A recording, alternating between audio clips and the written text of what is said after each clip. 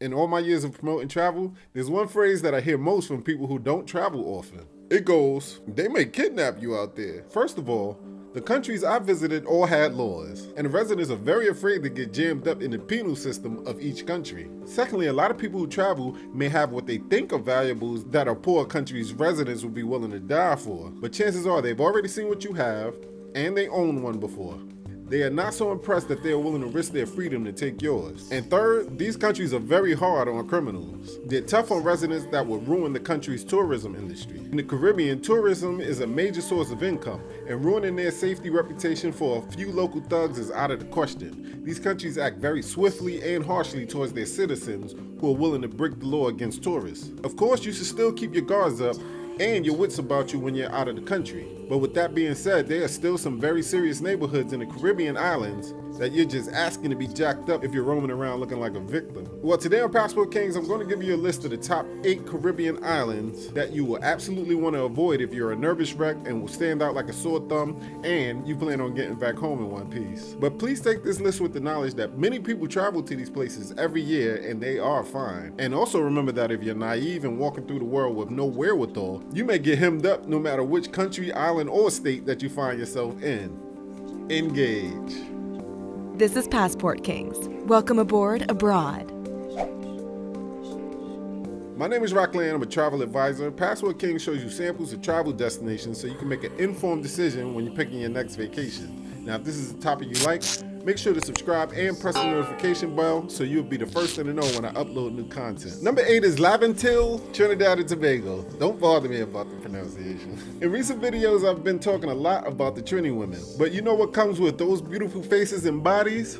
Hard times, daddy. And there are no more challenging times than for people who grew up in Laventille. They were born into nothing and some of this population are adamant about getting money and screwing over whoever stands in the way between them and their loot. What they feel are the ops are getting smoked at high rates on this beautiful tiny island of Trinidad and Tobago. The violence area is laser focused right outside of the capital city of Port of Spain in Laventille. Like America, most of it is gang and drug related, but also like in America, some tourists have been caught in the crossfire. In other words, find yourself a nice resort, meet a few sexy chicks that take your ass back to the room if you're not. Though Tobago appears to be a lot safer than Trinidad, there is an increased risk of theft and armed assaults on both islands during holiday periods such as Carnival and Christmas. Now make sure you watch the end of this video. You might be surprised about who is number one, but also I want to tell you about the ebook that I've been working on that you could probably be one of the first people to get. Now number seven is Santo Domingo DR. I have a video from when I was in Boca Chica, Santo Domingo, and you can click the link above to watch it. We were not the victims of any crimes, but you would quickly tell that any forced moves on your part could land you in a world of hurt. For the most part, people who live there are going about their day, making money to feed their families,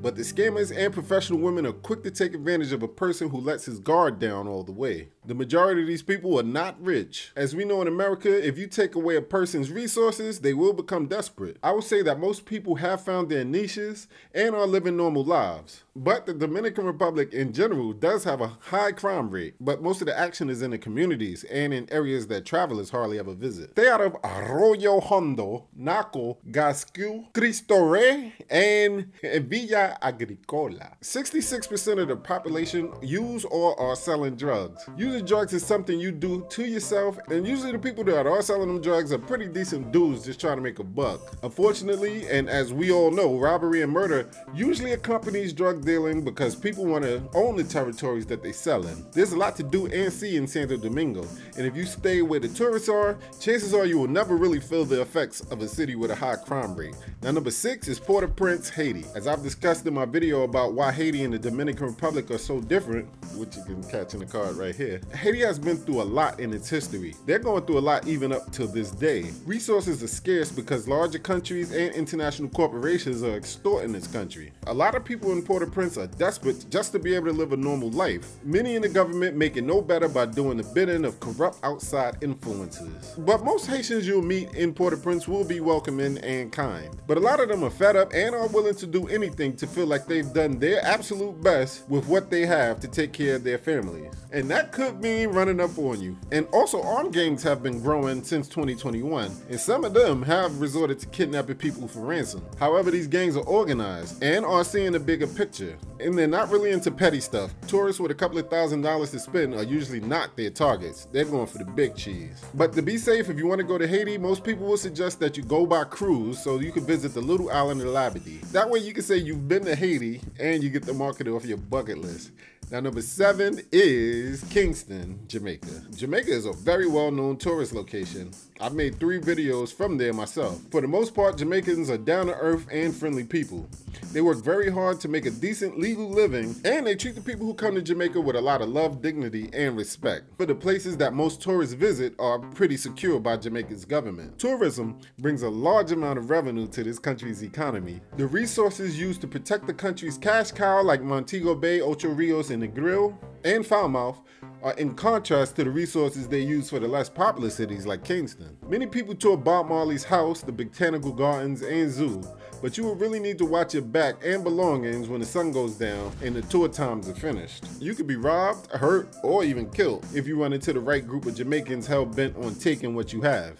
However, many of my clients who have family in Jamaica, they always tell me that they had a real good time in Kingston. And chances are you will too. But if you want to sit around and get high off weed, super drunk off Jamaican rum, and go roaming the streets at night, you will get got. If you're not from the hood of your hometown, I suggest you stay in tourist areas where you will have the time of your life. Go to passportkings.com and search for flights to Montego Bay. My site finds the cheapest deals on airplane travel that many other sites won't know about, so they won't even suggest them. We scour over 4 million search engines to make sure that you're getting the best price on the internet every time. And now, number four is Basseterre, St. Kitts. Although the crime stats have been on a steady decline, St. Kitts, especially around Basseterre, is a pretty dangerous spot to plan a vacation. The stats for 2020 was 18.80, which is over a 17% decline from 2019. According to gov.uk, most visits are trouble free, but the few who have been attacked were victims of murder, armed robbery, and sexual assault. Like in most islands, there's no reason to floss wads of money or jewelry. Your hotel safe should be your best friend, so you should pack everything in there when you're about to go out at night. And be aware if pedestrians are trying to flag you down, ignore them, because they're most likely trying to carjack you. But like I say about all islands, just be safe and be aware of your surroundings. The number three is Nicaragua, Managua. The murder rate in Nicaragua is 13, but you won't have to worry about getting clapped because they have a more serious problem with an aggressive flesh-eating disease. Many of the archaeologists who were roaming the wilderness got ravaged from it. Nicaragua right now is also facing serious hunger problems, which the government is making a priority to tackle in 2022. And back in 2014, they just overcame a severe drought. But if you still want to try your luck and get an experience that not many other people have had, just make sure you stay in a well guarded resort. All right, so number two is Honduras. Honduras is a country that is plagued by crime.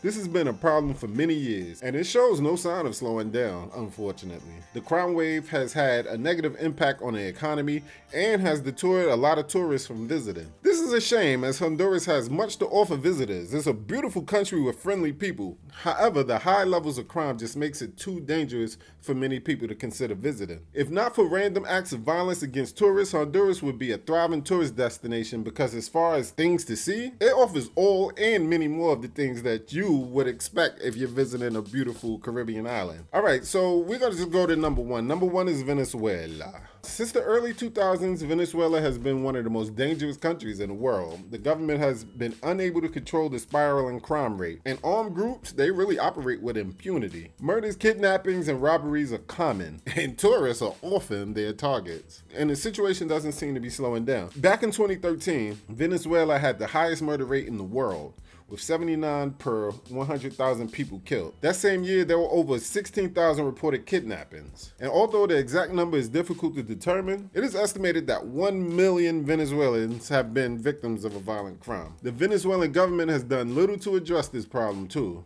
Hopefully they're getting better these days. But in fact, many people believe the government's corruption is one of the root causes of the crime in Venezuela. The police are corrupt and ineffective, and the justice system is just slow and inefficient. Now check it out, the videos that I'm attaching to the end screen, that's gonna show you some of the better islands that you should go visit if you're willing to, or if you're ready to go to the Caribbean islands. So check that out as soon as you finish this video. Like I said in the beginning, there's crime everywhere, so if you really want to visit one of these Caribbean islands, don't let this list stop you from going there because chances are, if you're going to a well-established like resort or somewhere that is known for tourism, you're not going to face any of these issues. So, from me to you, what I would say to do is just get on a plane and go like a king, a passport king. Peace.